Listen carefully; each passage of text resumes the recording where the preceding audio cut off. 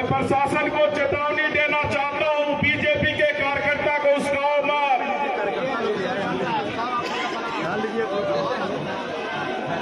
उसकाने का काम प्रशासन ना करे। हम लोग शांतिपूर्ण प्रदर्शन करने के लिए आए अगर प्रशासन उसकाने का काम करेगा, इसका जिम्मेदार भी प्रशासन ही होगा।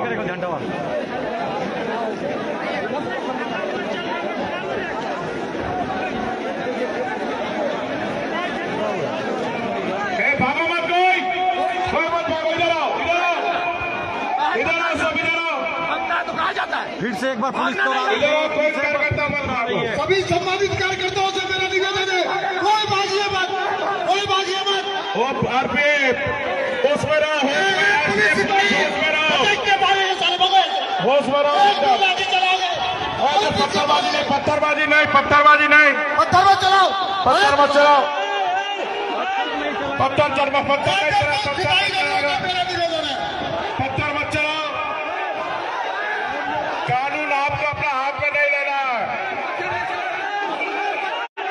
कानून अपना हाथ में नहीं लेना आप लोग सभी इधर आ जाओ इधर आ जाओ सभी इधर आ जाओ इधर कानून अपना हाथ में नहीं लेना इधर आ जाओ। पता क्या मार रहे हो।